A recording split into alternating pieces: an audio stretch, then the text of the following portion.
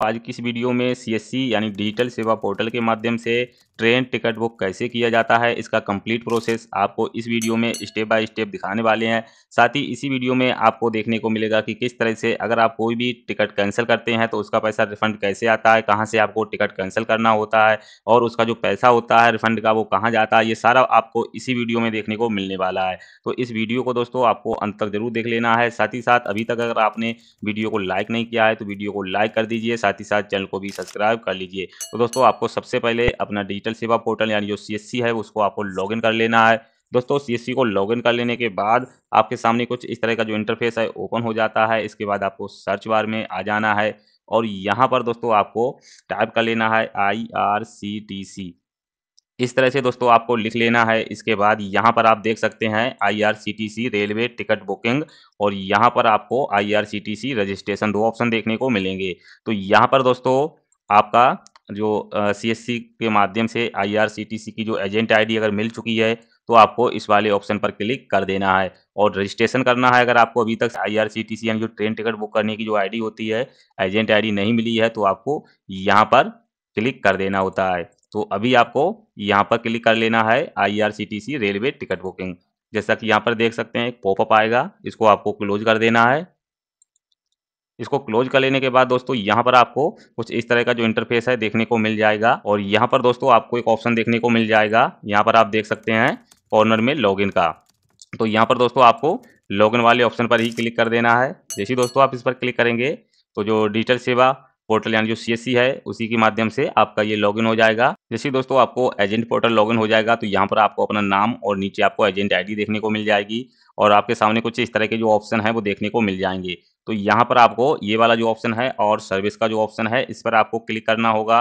जैसे दोस्तों, आप इस ऑप्शन पर क्लिक करेंगे तो यहाँ पर आप देख सकते हैं, यहाँ पर आपको बहुत सारे ऑप्शन मिल जाएँगे। तो यहाँ पर आपको ट्रेन से टिकट बुक करना है तो आपको ट्रेन वाले ऑप्शन पर जाना है और यहाँ पर आपको दो ऑप्शन देखेंगे रजिस्ट्रेशन और बुकिंग तो यहाँ पर आपको टिकट बुक करने के लिए बुकिंग वाला जो ऑप्शन है, इसको सिलेक्ट कर लेना है। इसके बाद यहाँ पर आप देख सकते हैं कुछ इस तरह का जो इंटरफेस है ओपन हो चुका है और यहाँ पर welcome to CSC railway booking तो जो सीएससी से रेलवे बुकिंग जो है, यहाँ पर आपको जो पोर्टल है एजेंट पोर्टल वो आपका लॉगिन हो चुका है। तो यहाँ से दोस्तों टिकट बुक करने के लिए यहाँ पर आपको बुक ट्रेन टिकट वाला जो ऑप्शन है ऑटोमेटिक सिलेक्ट मिलेगा। इसके बाद यहाँ पर फ्रोम यहाँ पर आपको जिस जगह से यात्रा करनी है, वो यहाँ पर एंटर कर लेनी है। और जहाँ तक आपको जाना जो डेस्टिनेशन है, वो यहाँ पर एंटर करेंगे। उसके बाद जिस डेट में आपको यात्रा करनी है, वो डेट आपको यहाँ पर सिलेक्ट कर लेनी है। और जैसा कि यहाँ पर यहाँ पर हमें बरेली से जो यात्रा करनी है और वो करनी है अमरोहा तक।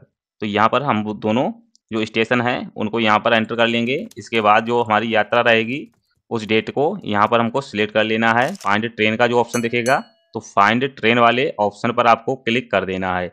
जैसे ही आप इस ऑप्शन पर क्लिक करेंगे तो उस रूट की जितनी भी ट्रेनें होंगी, उस डेट में वो सब यहाँ पर आपको देखने को मिल जाएँगी।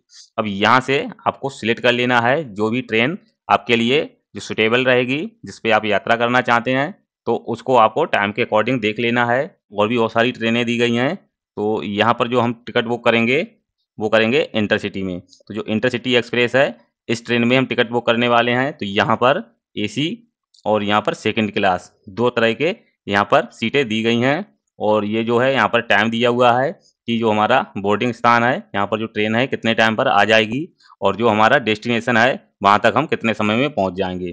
तो यहाँ पर हमें सेकेंड क्लास में टिकट बुक करना है। तो यहाँ पर हम क्लिक करेंगे तो जो एक अप्रैल में हमें जो टिकट बुक करना है, उस समय जो अवेलेबल सीटें हैं यहाँ पर, वो नौ सौ इकतीस सीटें दिखा रहा है। तो अगर हमको यहाँ पर बुक करना है, जो बुक नाव का ऑप्शन है, इस पर ही क्लिक कर देना है। यहाँ पर आपको अगर टिकट बुक करना है तो यस कर दीजिए। इसके बाद आपके सामने कुछ इस तरह का इंटरफेस ओपन हो जाएगा। तो यहाँ पर आप नीचे की तरफ़ आएँगे तो यहाँ पर पैसेंजर जो डिटेल है वो आपको फिल करनी होगी। तो यहाँ पर सबसे पहले हम पैसेंजर का जो मोबाइल नंबर है उसको ऐड कर लेते हैं। इसके बाद दोस्तों जैसे ही आप कस्टमर का जो मोबाइल नंबर है एंटर करेंगे, उसके बाद ये ऑप्शन आपको विजिबल हो जाएँगे। तो यहाँ पर आप पैसेंजर का नाम एंटर कर पाएँगे और एज एंटर कर पाएँगे जेंडर सिलेक्ट कर पाएँगे यहाँ से। और इसके बाद यहाँ से आप कंट्री सिलेक्ट कर पाएँगे और बर्थ प्रेफरेंस यहाँ पर आप सिलेक्ट कर पाएँगे।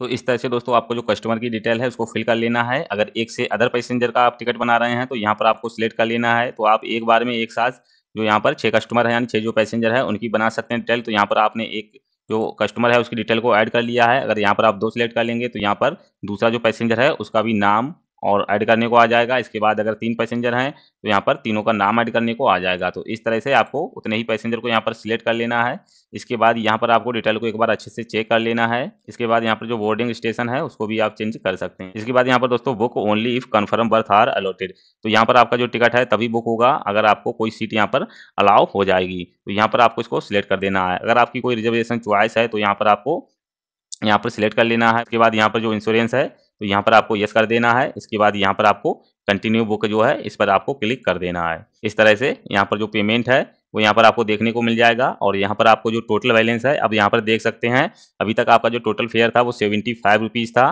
इसके बाद दोस्तों यहाँ पर I R C T convenience fees थी, सत्रह रुपये सत्तर पैसे, और यहाँ पर ट्रेवल इंश्योरेंस का पैंतीस पैसे चार्ज लग गया है, और जो ट्रेवल एजेंट चार्ज है, यहाँ पर आपको देखने को मिल जाएगा पेमेंट गेटवे आपको यहाँ पर देखने को मिल जाएगा, जो चार्जेस हैं, ये सारे चार्जेस यहाँ पर देखने को मिल जाएँगे, यहाँ पर आपको पैसेंजर की डिटेल देखने को मिल जाएगी, इसके बाद यहाँ पर जो, और जो कैंसिलेशन पॉलिसी होती है, वो यहाँ पर आपको देखने को मिल जाएगी।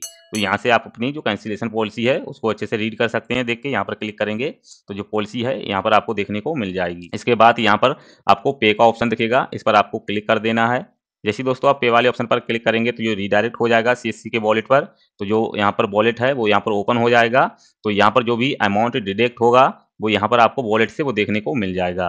तो यहाँ पर जो पासवर्ड है आपका सीएससी का तो जो यहाँ पर डिजिटल सेवा पोर्टल का जो पासवर्ड है, यहाँ पर आपको एंटर कर देना है। पासवर्ड एंटर कर देने के बाद यहाँ पर आपको वैलिडेट कर देना है। जैसे आप दोस्तों वैलिडेट करेंगे तो यहाँ पर अब आपको वॉलेट पिन जो भी आपका सी का जो वॉलेट पिन होगा, उसको आपको एंटर करना होगा। तो यहाँ पर हम जो वॉलेट का पिन है, वो एंटर कर देंगे। एंटर कर देने के बाद पे वाले ऑप्शन पर क्लिक कर देंगे। जैसे ही दोस्तों इस पर क्लिक करेंगे तो यहाँ पर देख सकते हैं पेमेंट सक्सेस हो चुका है। इसके बाद दोस्तों यहाँ पर आपका जो भी आईआरसीटीसी में मोबाइल नंबर जो रजिस्टर्ड होगा, उस पर एक ओटीपी आएगा। उस ओटीपी को आपको यहाँ पर फिल कर देना है और जो आईआरसीटीसी का आपका जो पासवर्ड होगा, जो प्रोफ़ाइल पासवर्ड है, वो पासवर्ड आपको यहाँ पर एंटर कर देना है। देन आपको जो कैप्चा कोड यहाँ पर है, उसको यहाँ पर एंटर कर देने के बाद जो सबमिट वाला ऑप्शन है, इस पर आपको क्लिक कर देना है। ये सारा प्रोसेस आपको जो यहाँ पर टाइम चल रहा होगा, इस टाइम से पहले पहले ही करना होगा। अगर अन्यथा ये जो एक्सपायर हो जाएगा तो आपका जो वॉलेट से अमाउंट कट जाएगा और आपका यहाँ पर टिकट भी बुक नहीं हो पाएगा। तो जो अमाउंट है आपका, जो यहाँ से डेबिट हो जाएगा, उसको वापस आने में दो घंटे, चार घंटे या एक से दो दिन भी लग सकता है। तो यहाँ पर आपको पासवर्ड जो है, अपने पास रखना है और मोबाइल नंबर जो पास में हो, तभी आपको टिकट बुक करना है। जैसे दोस्तों यहाँ पर आप सबमिट कर देंगे तो यहाँ पर अभी देख सकते हैं, यहाँ पर कुछ ही सेकंड्स का यहाँ पर दोस्तों समय लगेगा। इसके बाद जो टिकट है, वो यहाँ पर जनरेट हो जाएगा और कुछ इस तरह से यहाँ पर आप देख सकते हैं जो टिकट है, वो यहाँ पर जनरेट हो चुका है।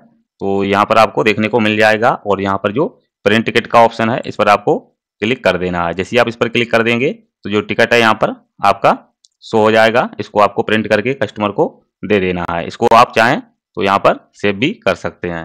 इसके बाद दोस्तों, यहाँ पर आपको नीचे की तरफ़ आएँगे तो यहाँ पर जो कैंसिल टिकट है, उसका ऑप्शन देखने को मिल जाएगा।